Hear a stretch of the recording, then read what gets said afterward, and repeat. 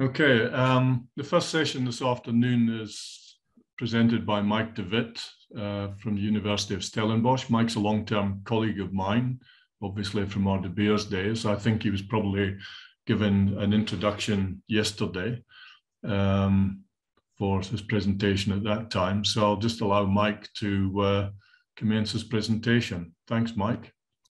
Okay.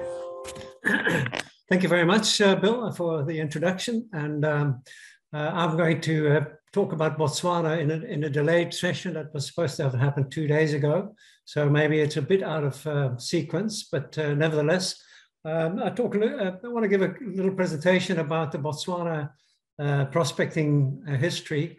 Um, and it was really a presentation I gave at the Kimberlite conference in, in Gaborone a couple of years ago just in terms of where Botswana is, and, and uh, there is a map of Botswana with the, with the main kimberlite fields, uh, and also showing the, uh, the main mines um, that, that uh, were discovered over the years, Orapa and Letlhakane and Karowe in the north, uh, in the south, and then Ghaghoo and, and Lerala, where attempts were made to mine these deposits, but they are dormant and uh, at care and maintenance at the moment.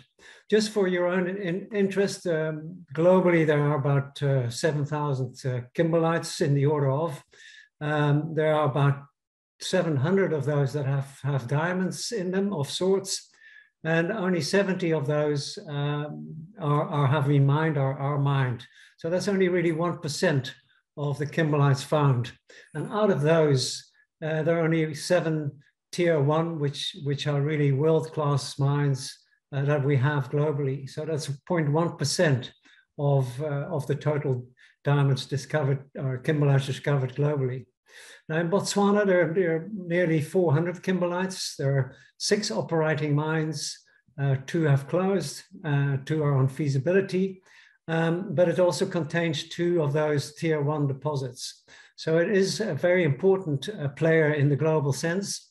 Uh, and uh, at, at, uh, at this point in time, Botswana has produced um, well over 800 million carats of the, of the global amount of around 5.6 billion carats globally um, estimated to have been, have been produced. So again, it just emphasizes that it's well overtaken South Africa in terms of uh, historical production. Uh, and it, it is a, a, very important player.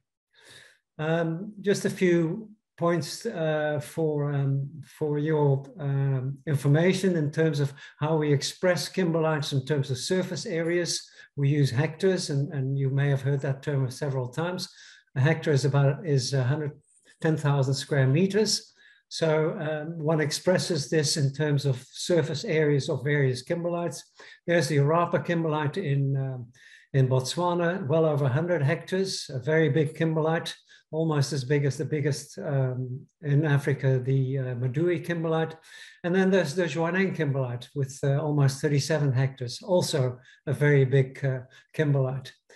Um, just to recap for, for the case of your information, the carat is 0.2 of a gram. It has a hardness of a SG of 2.52 and a hardness of 10.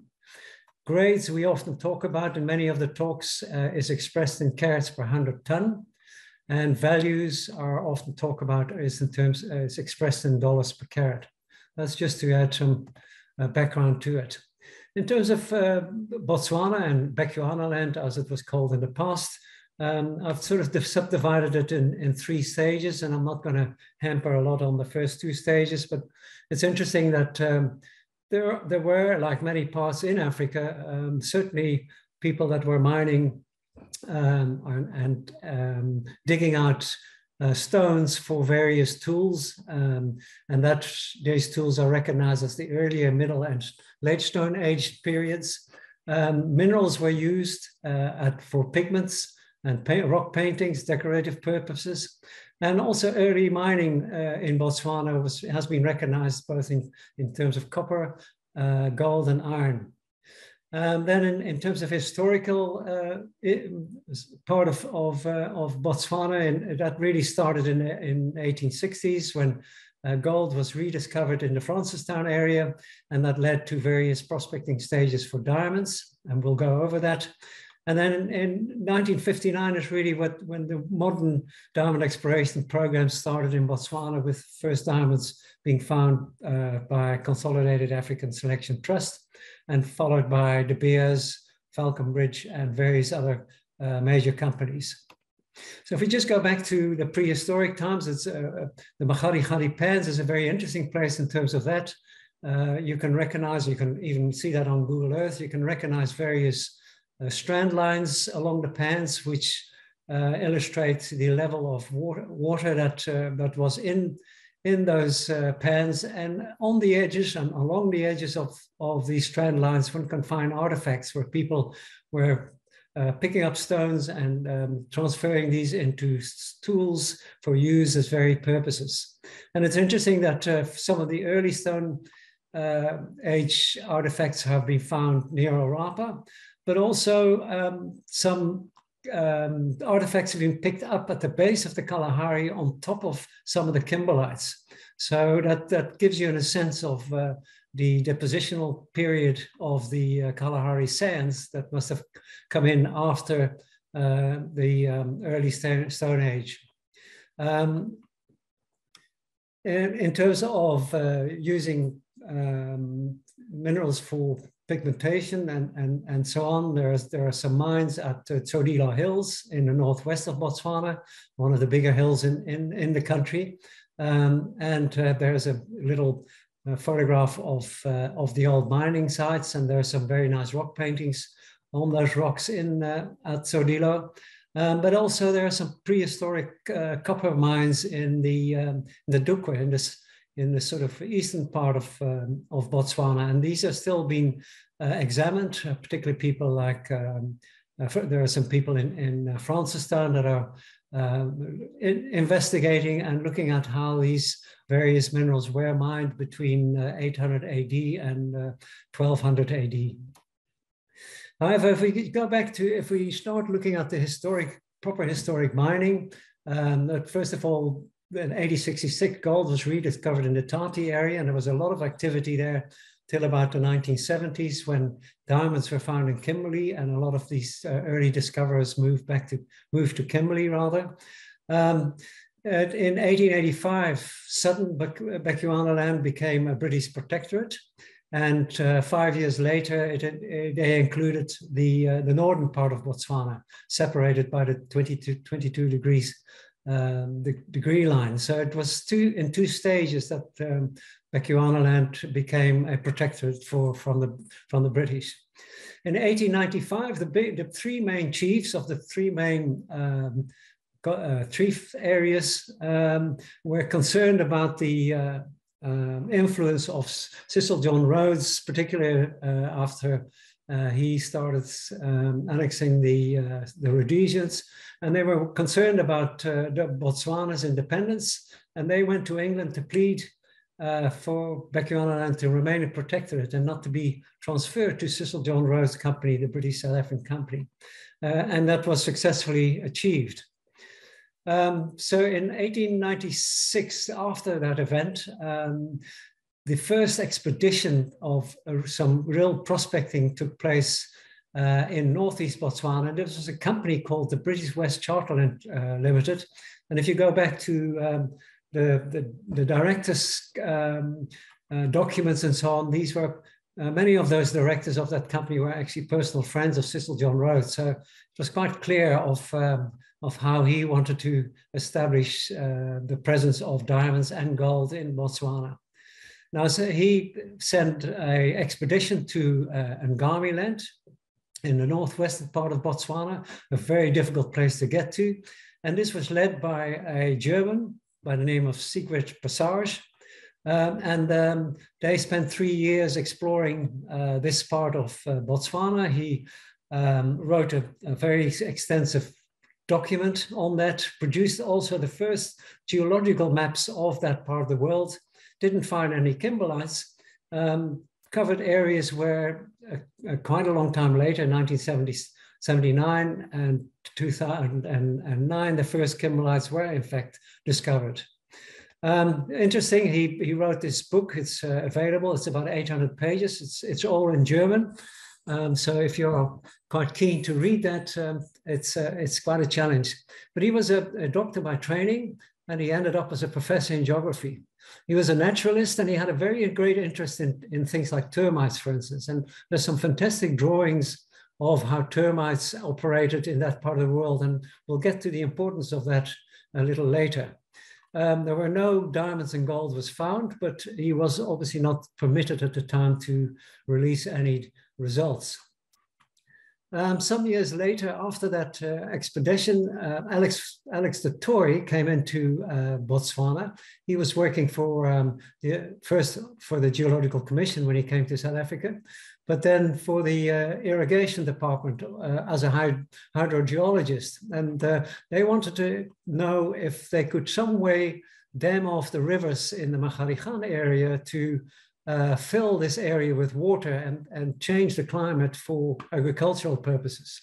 So um, um, um, Alex du Toit spent some years there and he wrote a very interesting a paper called uh, The Crustal Movements as a Factor of Geographical Evolution of South Africa, and uh, where he identified these, uh, these uh, what he called upwarps in the crust uh, in several areas in Southern Africa. And again, we'll get to that as a, in, in a, a little later as of the importance of that. He, after, the, uh, after his spell with, as, a, as a hydrogeologist, he became chief consult, consulting geologist for De Beers, where he retired. And he, in fact, prospected parts of Botswana on behalf of De Beers.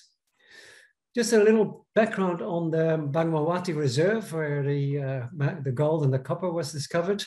Um, the Khama III, who was chief of the, of the reserve, signed an agreement with, uh, with a company, uh, North Goldfields Exploration, uh, and uh, but Cecil John Rhodes took that, that, company over in 19, 1893, obviously keen to get into Botswana. But uh, Khama's uh, the third successor, uh, was not keen on uh, on the, on that uh, initial agreement, and they had a long dis, renegotiations to revisit this agreement, and eventually they came to an agreement and Anglo and De Beers entered Botswana as the Victoria Prospecting Company Limited. And two years later, I, um, Anglo abandoned it, but Alex du Toit, who believed that there were certainly kimberlites in Botswana, um, felt that uh, it was worth car carrying on because they, although they hadn't found any um, interesting uh, results, they did uh, identify several areas with, uh, with substantial gravel deposits.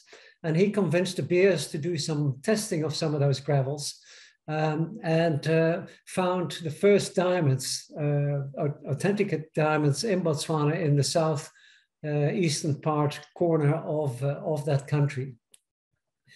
Uh, however, De Beers then uh, after that pulled out and, um, and, and it was many years later that, that they came back. Just a bit of background on uh, Tshekedi. He, he was the second son of Khama III, and therefore he was not eligible to become his successor. But the son of the oldest uh, Khama's son, uh, Seretse, was only four when his father died, and um, he was too young to, uh, to take over from Khama III.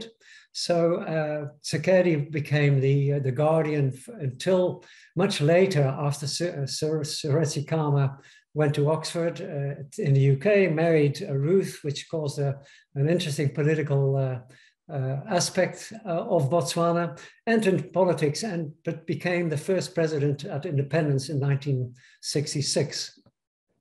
However, uh, did feel that uh, development should take place in Botswana, and he signed an agreement with uh, the Rhodesian Selection Trust in 1959. Uh, he didn't want to sign any agreements with South African companies because of the politics. Um, and um, this African Selection Trust got the rights to prospect for copper, but he also got the rights to look for, for precious stones. They had been working in, uh, in Sierra Leone for many years, um, and they came to do some bulk sampling in that eastern part here of Botswana. Um, and in fact found some, they found the first diamonds uh, in, in a stream sampling program. this is a, an old map of their uh, of their reports that they submitted to the to the uh, um, to the government, and you can see the position and uh, the sizes of the diamonds that they recovered from their stream sampling. They they they didn't work further west, a because they uh, they came across they it was the start of the Kalahari Basin, and they were felt they weren't equipped to uh, handle the sand and, and sample the sand more to the west. And they also thought that um, there is some Dwyka in uh, in this um, in the Motloutse. They thought that maybe these diamonds had come out of the out of the Dwyka. So they they dropped the ground and and basically left uh, left the uh, country. So uh, the the next person that of, of importance of uh, the discovery of kimberlites in Botswana was Gavin Lamont. He was a uh, he did his PhD in the um, van area, and his external examiner was Alex de So he he knew Alex uh, to some extent.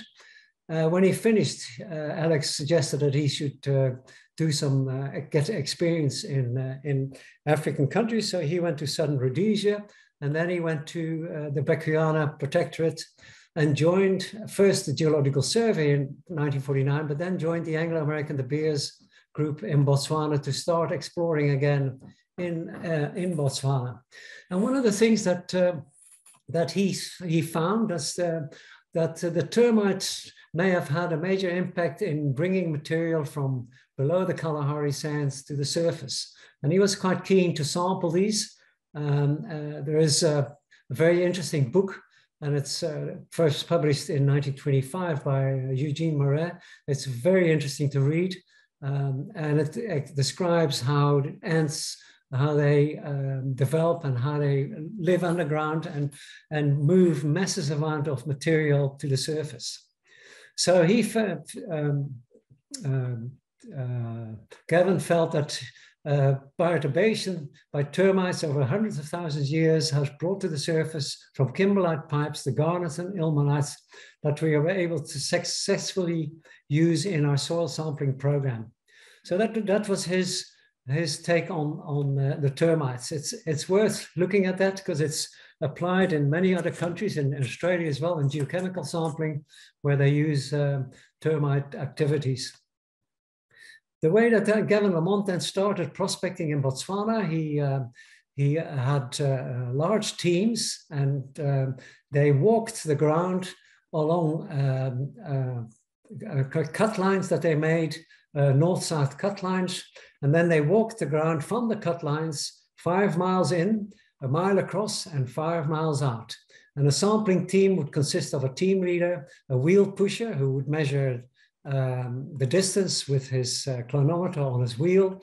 Uh, you had uh, two samplers on either side of the team leader, and then a whole bunch of porters that would carry the samples back and forth from from the, uh, from the baseline. There's a photograph of a typical uh, sampling team. They would then scoop every 12 to 15 paces, a scoop. They would put it uh, through a, um, a, sample splitter, and every 0.2 of a mile, the team leader would blow a, a police whistle, and uh, two bags were filled in, in one bag, and um, and every one point so that would what would be one sample and every um, so every two 1.2 miles were six six samples that would have to be carried back uh, while they're going on the on the traverse back to the uh, the baseline where a vehicle would be waiting to load it up so that was quite a, a, a, a military style operation that worked like clockwise uh, and um, that's just a, a, photograph of the, the guy taking a scoop sample, dumps it into the sample splitter. And there's a photograph of the, uh, the guy with the, uh, the wheel. He's, he's got a, a, compass in his hand as well. And he's also carrying uh, two of the samples. So multitasking, if you like. They, in, in addition to the sampling that, uh, that uh, uh, Lamont introduced, he also looked at the concentrating methods, and that took a while for him to realize that panning for, for, for, for um, indicator minerals was not very efficient. And he decided to start screening the samples and hand gravitating these in a, in a drum as, as we spoke, uh, as we discussed yesterday. In that way, the first one of the first things that De Beers did is to resample the area that um, that uh, the uh, Selection Trust had had sampled, and they found um, two diamonds in approximately the same place as as, um, as, Selection Trust. But the other thing that they found was they found uh, garnets, ilmenites, and even CDs. So that was a, a step forward in terms of uh, recognizing uh, the possibility of finding perhaps um, a, um, a, primary source. Lamont was very keen on this area, but the, the licenses uh, had been, uh, some of the licenses had been uh, uh, expired, so they were then working in other areas. Um, but going back, the reason why um, Lamont was interesting in, interested in this area was there is the uh, rough position of uh, the diamonds that are found in the Motloutse River, and that's the rough position of the Orapa province, and it's separated by this uh, Kalahari Rhodesia axis of Alex Tori. And um, the theory was that this up axis would have um, dissected the drainage that originally would have come across this axis um, and the upwarp of this axis would have uh, cut this, uh, this river system. Uh, and therefore, the source of the diamonds of the Motloutse, upper Motloutse River would have to be on the other side of the upwarp. That was certainly a strong um, uh, case that, uh, that du Toit made. Before getting to that, uh, De Beers were busy in the southern part. They found their first uh, so-called kimberlites. They, they, were not true kimberlites, but uh, nevertheless, they found uh, two pipes that were very interesting, and it gave them um, it gave them the confidence to that the, the technique that they were applying in terms of screening and loam sampling that it worked. And um, they, at the same time, there was a person called um, uh, Chris Jennings, who started working at the Geological Survey two, ways, two years after Gavin Lamont left, he was mainly into groundwater and made use of extensive use of geophysics. In fact, he did his PhD on, on in Botswana on the hydrogeology. Um, and he, his interest really was uh, geophysics. Um, and he left, also left the, uh, the survey uh, and in 1971 and joined a company called Falconbridge. Now, in, in, before he, he, uh, he left um, the survey, he and, and um, Lamont were fairly close. I mean, it was a small geological community, so everybody knew each other. And he invited um, Jennings to come and do some tests of geophysical surveys over the maturity bodies that they just discovered. And um, the conclusion that Jennings came with, he applied various techniques, seismics, electrics, and so on, is that magnetics was really one of the better tools to use. And in 1968, after the discovery of AK1, um, in fact, uh, Jennings came up to do some uh, test lines over, over, that, uh, over that kimberlite. So getting back to uh, Lamont and uh, and the uh, the upwarp, there's a, a, a, Google 3D image of that upwarp.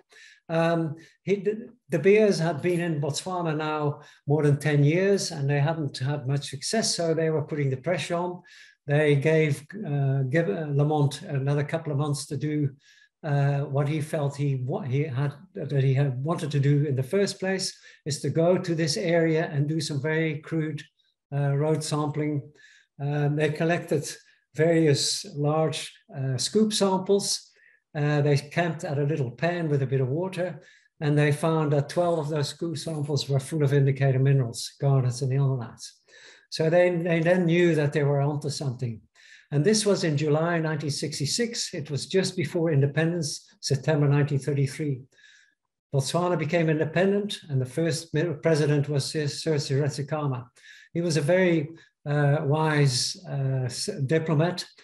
And one of the things that he did was to, to invite all the chieftains um, to a, a, a, conference in which they decided that all the, the, the, uh, the wealth of Botswana should not be part of, uh, go to the chieftains, but should be part of the, the nation, irrespective of where it was found. The, shortly after um, independence, uh, De Beers managed to get their licenses and um, they sent Manfred Marx there in 1976. And he, in fact, found the first kimberlite by doing some detailed sampling, digging a pit, BK1, in March uh, the 1st, 1976. This was followed very shortly thereafter by uh, BK2, and then the big one that he found in, in April uh, 25th uh, of the same year. This uh, the, the, team that they that uh, made the, the that recovered the first indicators of the first samples over AK1, which is the Orapa mine, and the there's the, the mineral count a, a microabundance of, of ilmenites, garnets, and, and CDs. In fact, uh, Gavin Lamont uh, still, I've got a letter with with uh, with from Gavin Lamont with the first indicators from Orapa stuck on it, uh, which he gave me um, when I when I discussed this his the history with him in in some detail. Now, uh, there were some air photographs available for, uh, for, of that area at the time, uh, and it shows you very clearly the outline of AK1. There's AK1 uh, on, on the photograph, uh, but also some of the other kimberlites shown. There's hardly any cover here. There's some calcrete that developed over these cal over these uh, bodies, and there's some dolerite dikes that are stand out very nicely. Um, but that was it, it's a very nice photograph uh, to show you that if you do go into these areas as, as discussed yesterday, do, do, have a look at air photographs of places. You'll be surprised what to see what you, what you can find out of that. It was interesting because this particular feature was used by the uh, by SA Airways and their flights from Johannesburg to London as a beacon uh, on their on their trajectory. And the uh, initial evaluation of Orapa was done with a rotary pen that came from, uh, from Kimberley. It was a six foot pen, quite a small one actually. Uh, and uh, small pits were dug, uh, nine by nine foot, 20 foot deep. Uh, but this was sure when, when the results started coming in, this was fairly quickly overtaken with, with the introduction of a DMS plant and, and much deeper and, and well organized um, uh, pits. Um, the, the first diamonds that came out were quickly uh, identified and, and uh, obviously added to the excitement of this discovery. Airborne surveys were flown, and I showed you this, this thing, yeah, this, these photographs yesterday. That's a, a very early stage um, uh, airborne survey, but also an input electric magnetic system, which was uh, attached. There you can see the wiring to this uh, Catalina aircraft. Um, that's the, uh, the, the uh, status of the discovery of the Rapa uh, kimberlites as we see it. There's about uh, 85 kimberlites, it's probably close to 90 now. Lots of them are quite small. A lot of them have very few are, are very are no diamonds. There are only, um, four, well, there are four mines that have come out of this. That's AK1 up here. Then there's the uh, Damtshaa, which are two kimberlites, BK9 and BK12 here. Letlhakane mine, two kimberlites, and then the Karowe kimberlite. But people are still looking at BK11, BK16, and several others. So it's, it's still work in progress in, in many respects. And people are still exploring in this, in this part of the world, hoping to find un, undiscovered kimberlites. That's what the open pit looks like uh, two or three years ago. Uh, it's 118 hectares in size. It was commissioned in 1971 after being found in 1967, a really very fast um, uh, move from uh, exploration into mining.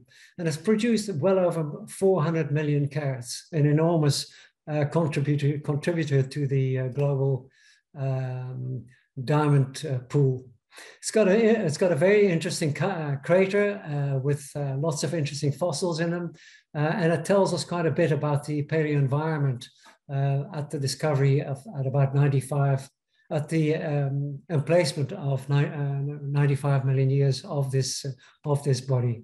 It was officially opened by Sir Seretse Khama and Harry Oppenheimer, and it's interesting that quite soon uh, they realized that they have to form a uh, they formed a joint venture company between government and Botswana, a 50-50 joint venture, which was obviously very advantageous for the state but uh, the beer, the Beers, I think, did a, a, a marvelous coup there uh, and set themselves well up in, in Botswana.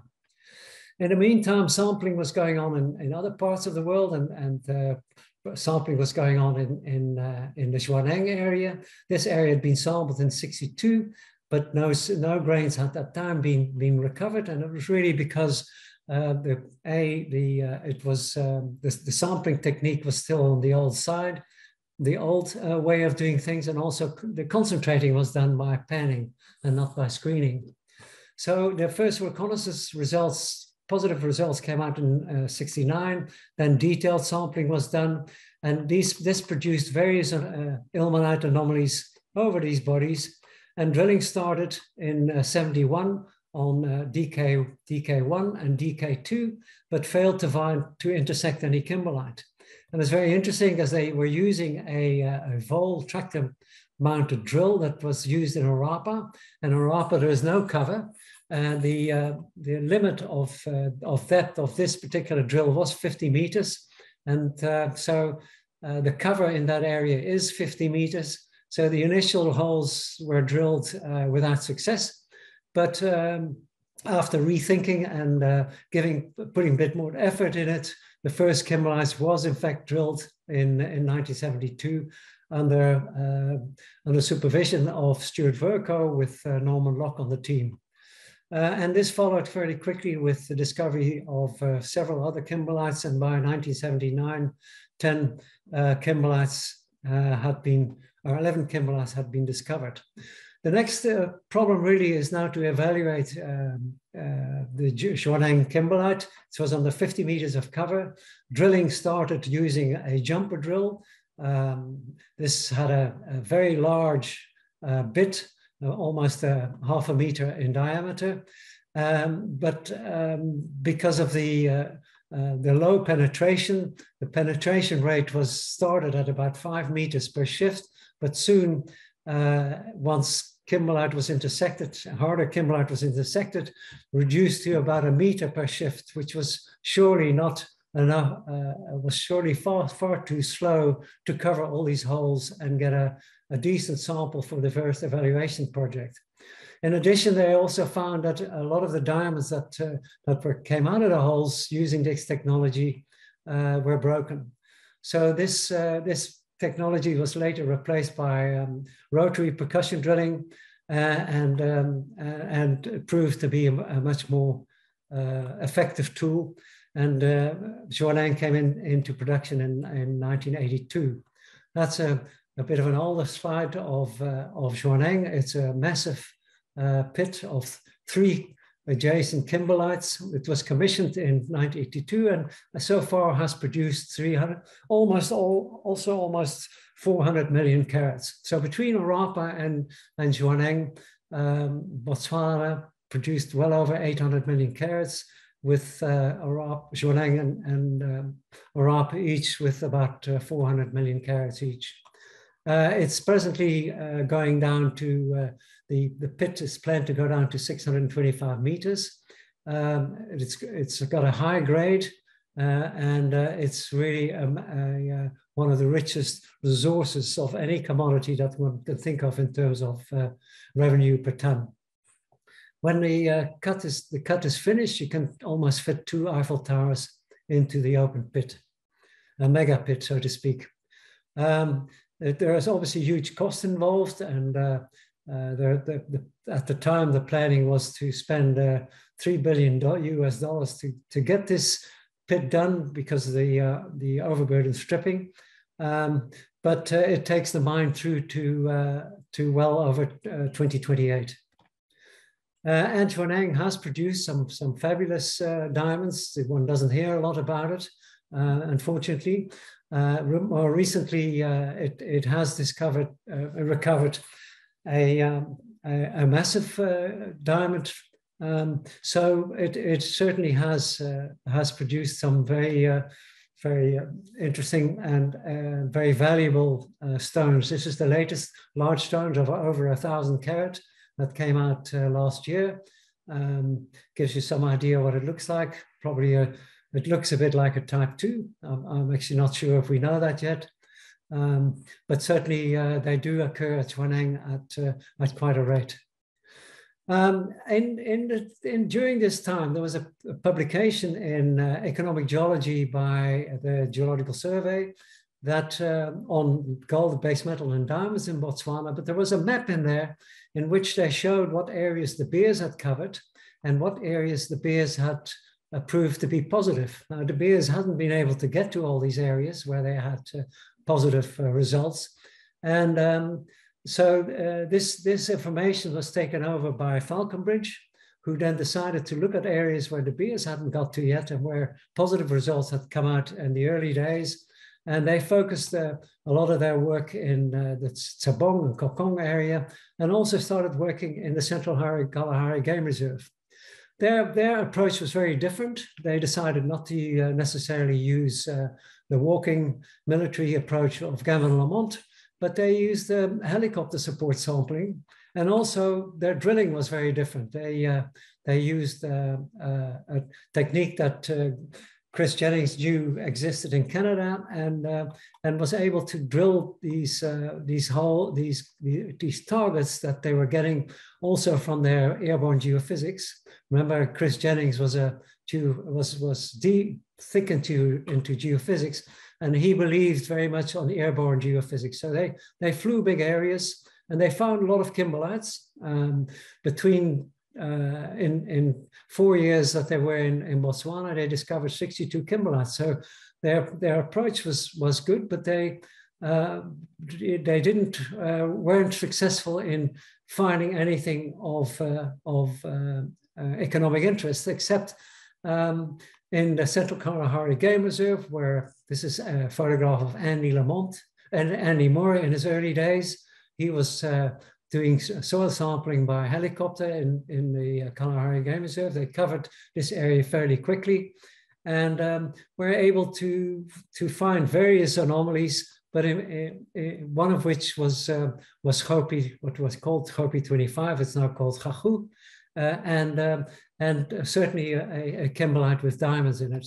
The problem with, with that kimberlite is that it was sitting under 80 meters of Kalahari cover and um, and uh, evaluation was tough. It's a 10, 10 hectare body, uh, and it's been sitting on the shelf for a long time before um, um, before uh, Gem Diamonds took it over, who had a go at it and put in a, a decline, which we'll come to in a minute. Um, De Beers then start, started soil sampling. There's your soil sampling grids uh, in the east of the country where there was no cover. And they found two uh, two small clusters of kimberlites. Interesting enough, both of very different ages, one of 1300 and one of 500 million years, um, in, in the uh, close to the Limpopo River. Um, one of cluster of which uh, contained diamonds and the other which was um, which was barren. These were very small in size, 0.2 to 2 hectares, uh, but had a reasonable grade, but their diamond uh, quality was, was not um, what what they uh, what made it what would have made it economic. So that those projects were shelved for the moment. Um, and in 2003, a lot of interest came back to Orapa, and people started re-looking at some of the uh, kimberlites that Beers had found. This was AK at the, at the time called AK6.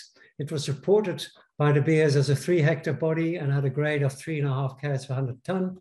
Uh, it was revisited by um, African Diamonds, and uh, it sure, certainly came out that this kimberlite was actually much bigger and had a much better grade. Um, it has produced, it was certainly subsequently taken over by Lucara Diamonds and produced some fabulous diamonds, which uh, Ray Ferrara spoke about early in the week. Uh, certainly one of some of these uh, very large, um, very special stones have come out, out of that uh, out of that deposit. In fact, if you if you look at uh, some of the results since 2012 when they started mining it, over 200 diamonds of $1 million each have come out of that deposit. It just shows you the value of that particular, um, particular kimberlite and what sort of stones it has produced. It's just incredible. I don't think there's anything like it uh, on this earth. It's produced three diamonds over a thousand carats, it produced 25 diamonds over 300 carats. It's just an incredible uh, producer of, uh, of big stones. And having recognized this, um, Lucara uh, started changing their plant structure to avoid any major breakages of these big diamonds. Uh, they put in autogenous milling, they put in uh, XRT, X-ray transmission uh, technology to try and detect diamonds before it enters the crushing circuit to try and recover diamonds that uh, that that would have otherwise probably have broken, been broken. Going back to the Ghaghoo, uh, or the Gope deposit that was found by Falconbridge, eventually in 2012, um, Gem Diamonds decided to, to try and give it a go. They put a decline in under the Kalahari into the kimberlite. Um, they acquired this uh, from De Beers after De Beers had acquired it from Falconbridge. Uh, it was opened in 2014, but it was put on care and maintenance in 2017. Incredibly difficult mining conditions. Um, the instability of the overburden uh, made things difficult. There were water problems. Um, so it's, it's certainly, it's an underground mine, but certainly not one that, uh, that has um, faced the test of times at this stage. Just uh, to then summarize in terms of where, where the, discoveries were made and, and sort of what time and at what interval, there was certainly the 60s and the 70s up to this point in time were big periods for, for De Beers. Um, this time, time in, the, in the late 70s, early 80s uh, is the period of, of uh, Falconbridge. Uh, and then De Beers finding uh, additional discoveries. Um, but by sort of early 2000, um, the sort of discovery rates dropped dramatically. Uh, and um, at the moment, um, the, the amount of discoveries from what's coming in from Botswana are, are quite small. Uh, it's also interesting to see that all these, all these early discoveries were made by sampling using ilmenites right up to almost to 2007 when uh, people start looking at garnet anomalies and using geophysics. Um, so it shows you the, the, importance of ilmenites, and it's certainly finding all the the, uh, the group two, the, the group one kimberlites. Remember, group two kimberlites don't contain any ilmenites, and you get also group one kimberlites that haven't got any ilmenites. So I think there's still quite a lot of potential of uh, expanding on the exploration and looking at some of those uh, garnet, uh, early garnet recoveries interesting. This is uh, this period is really where all the mines were found, the, the the Jwaneng, um, and after that, lot of, several kimberlites, but uh, not something that uh, that you can get your teeth in. In terms of production, uh, what what Botswana has produced, we sit with Botswana sitting now at about um, 850 million carats, and it shows you the amount of carats with time. Uh, and when different kimberlites came into production, Orapa, uh, Letlhakane, Jwaneng, there was a big jump at Jwaneng, bit push on the kimberlites, new plants, etc. Um, and uh, if you look at the GDP of Botswana at the time of discovery, it was $84. In 2018, I'm afraid I haven't updated this, but it was well, uh, well 100 times higher than it, than it was in, in those days. So it has done an enormous amount for Botswana as a country, uh, the development of country, um, the uh, tar roads, the clinics, the universities, the schools. Um, it's uh, uh, and and a lot of that had to do with the the vision that both Khama and um, Harry Oppenheimer had in terms of forming a 50-50 joint venture, um, making that a, a state company uh, and um, uh, partly state company and channeling all those funds back into the country. So my view of Botswana is it'll remain a major player in producing diamonds for decades to come. But to me, it's also still a very attractive country for exploration. And I think this is something that you, you're going to have to think about. Uh, it's a country that's got uh, great cover, not only for Kalahari, but also for uh, Karoo. Um, there, we have definitely got um, pre-Karoo kimberlites in Botswana in the in the east. So uh, there's no reason why there shouldn't be more uh, towards the west. Uh, the Kalahari cover makes exploration quite difficult. So we have to really think about um, carefully how uh, you would tackle uh, the future of Botswana. Um, but uh, it, A, it's politically stable, uh, and B, it's got a good infrastructure, uh, and, and, and most importantly, it's a very, geologically a very attractive target still for diamond exploration. Um, I've just got maybe just one comment. I mean, I've looked, we've looked a lot at the uh, at Du Toit's uplift axes. Um, I've wondered, you know, uh, that maybe they're not recent uplift axes. They're, they're more like uh, fossil watersheds, um, you know, because they really separate areas uh, where Karoo is on one side and not on the on the other side. So perhaps we've had uh, gradual downward erosion of the old landscapes, and then you expose those watersheds, which is why that one around Motloutse is now um, you know being exposed, and it's been the old Okavango drainage has been now cut off from the Limpopo drainage. Yeah, Bill, I I I, I can't agree more with you. Actually, I've always had a problem with uh, with these upwarps, even in South Africa. Uh, you know, going through the Lichtenburg area and so on. Um, but I mean, it's it's it's just that it's interesting that um, that uh, Toit's theory was tested by Lamont, and and uh, I, I, I don't want to go into the the, the, the technical side of things, but um, it was it's an interesting theory, and and it did lead uh, whether it's it's a, a, a, recent upwarp or whether it's an old drainage divide, it did lead them to to the discovery. So it's an interesting interesting story from that point of view. Um, but I, I, do agree. I think a lot of these uh, features that we see are in fact all uh, pre-Karoo already. You can see how the Dwyka sort of avoids some of those um, so those axes. So uh, I, I, I, tend to agree that I think these things are old things. They may have had a bit of rejuvenation here and there, but um, I think the origin lies well uh, back in his in geological time. Yeah, some of these features may actually be, as I, I said the other day, pre-Karooan age. Yeah, um, exactly. You know, if you look at the Magaliesberg, um, you know, uh, sort of trend there because that's the the eastern east-west trending one that du Toit has. Um, you know that could have existed in pre-Waterberg times. Yeah, yeah. This I think that some of these things are very old. Yeah. Yeah. Anyway, the floor is open for questions. Um, Tanya, have you seen the chat? I haven't seen anything. There's a, there's a, there are a couple of questions in the in the chat um, from, from Ketso, who asks Mike, with little erosion on the Orapa pipes, where exactly do you think the diamonds found in the Motloutse River came from?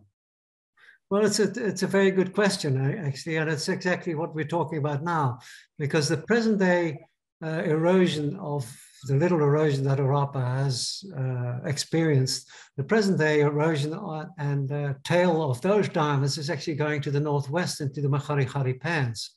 And there are some gravels that, uh, that De Beers have looked at, uh, they're called the airport pan gravels, and they are definitely mineralized. Um, so whether the diamonds that are found in the Motloutse are actually from Orapa is a very good question. There may be not be maybe and and I have thought about that a lot and um, and have looked at that western part of Orapa quite carefully uh, when I was still working with Tsodilo. Um, so I think there's still potential for that, uh, and and therefore we shouldn't exclude that uh, idea at all. Um, I think that's that's a, a, very good point. and maybe that whole axis and the discovery of Orapa was just coincidental, as as we just discussed early on his second question, and there are three of them. The second one is Where is the next frontier in diamond exploration in Botswana? Well, uh, you've got to pay me to uh, to give you that answer.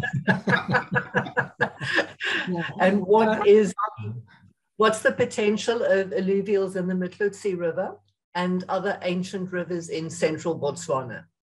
Mike, you need to add in it's upfront money, not after the event. yeah, Paul, and it's dollars, it's dollars, not rands. I will take pulas. Um, the, the, the first question is uh, where is the next frontier? I, I, still think that you have to look at the uh, the, the uh, Archean. So you have to put up your Archean craton on that. That would then be quite, uh, uh, it would sort of take half the country away, the western and northern part. But sorry, Tanya, um, will you let will you let Herman in? Sorry. And and then um, that that area, I think west of of Orapa deserves a lot more attention, west and south of Orapa. So that's an area that uh, that I was always quite keen on. In terms of the Motloutse being a alluvial, I don't think there's potential for that. Du Toit tested that with uh, with his team from Kimberley. They did bulk sampling of the um, Motloutse, actually didn't find anything in that. Um, and the diamonds really that occur in, to some extent on the alluvials would be from Orapa. Uh, it is very interesting to speculate uh, where diamonds would have gone from the Jwaneng uh, pipe, and that's something that a lot of people uh, would like to get some answers on. But uh, the Molopo River has produced some diamonds, and there certainly are some terraces that have, people have tested um, towards uh, the uh, the middle middle pit side, a bit, bit more to the uh, west on the Molopo. But as you as I've shown you, Du Toit tested some of the gravels uh, south of um, Lobatse and did find some diamonds. And these are probably linked more to the to the Lichtenburg side uh, and the Mafeking side of, of things. This next part of that question was the potential of alluvials Motloutse River and other ancient rivers in central Botswana. You really touched on it as you went through the discussion. And John Blaine just commenting, how about the Orapa discovery being serendipitous? Uh, Lamont and Gibson just doing the right thing in the wrong place at the right time. Well, they were, they were certainly doing the, the, the right thing. Um, I think the rationale was probably, you know, my view is the rationale was was correct.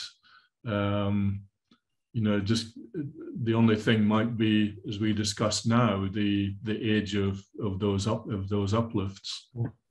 Yeah. Like the, the other thing is, um, of course, that Okavango drainage you know, goes all the way back up into Botswana, so uh, into Angola. So Angola could have been a source of some of those diamonds.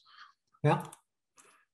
Uh, and then, and then Orapa becomes serendipitous in terms of Motloutse diamonds and even Sita, because you have those diamonds in the alluvials at, at Sita as well, which um, you can explain as you, you know people can say, well, they've must have come from Venetia, but those alluvials sit on top of the Karoo.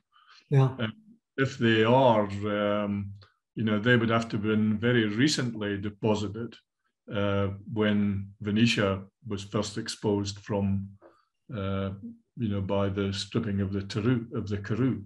Yeah. Yeah, I think there's lots of uh, there's this this uh, is certainly not um, sorted out into there, there are still possibilities I think there and I, and I, I favor almost a more proximal source.